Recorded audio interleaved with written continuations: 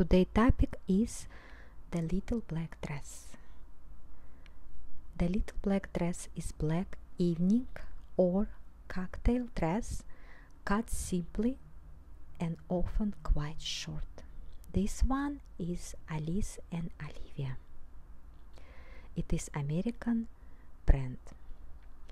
Fashion historians ascribe the origins of the little black dress to the 1920s designs of Coco Chanel.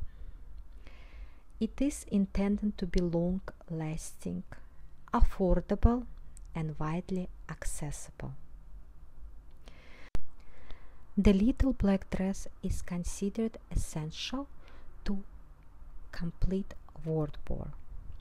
Many fashion observers state that every woman should own simple, elegant black dress that can be dressed up or down depending on the occasion.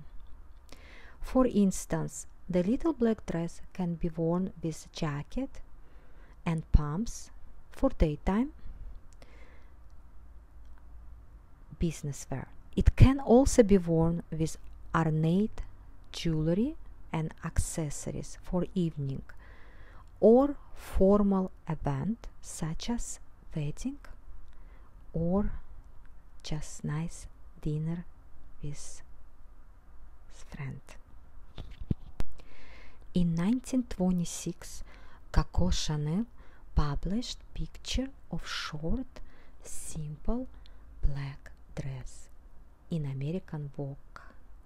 It was calf length, straight and decorated only by few diagonal lines.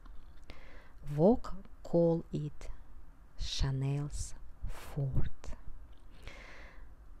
The little black dress was simple and accessible for women of all social classes. Vogue also said that the black little dress would become sort of uniform for all women of taste. As Coco Chanel herself proclaimed, I imposed black.